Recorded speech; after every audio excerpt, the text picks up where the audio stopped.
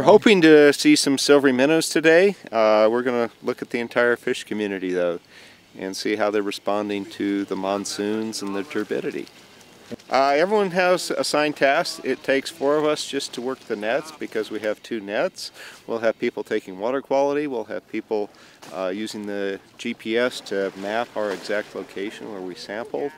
Uh, we have people to help count and enumerate the fish and handle the fish.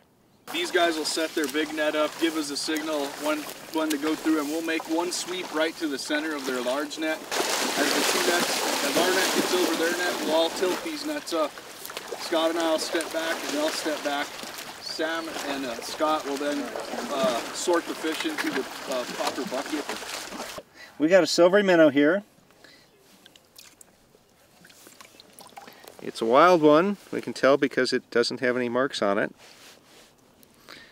Uh, it looks like it was, based on its size, it was probably spawned at least last year or maybe a couple years ago.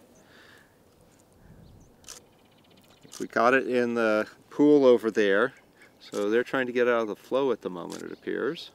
So earlier this year when I was out monitoring, I collected 600 eggs over five days at this site.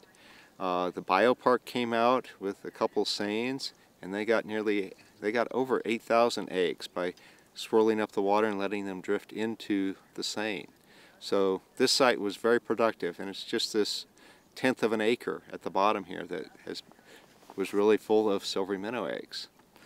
The program itself has been a uh, has been relatively successful. We have shown that the minnow goes up and down and have been able to keep the population going up and down in the middle of a 20-year drought.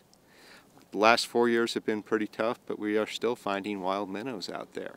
And that's part of the value of what we are doing is uh, we're seeing wild minnows, not just hatchery minnows out there.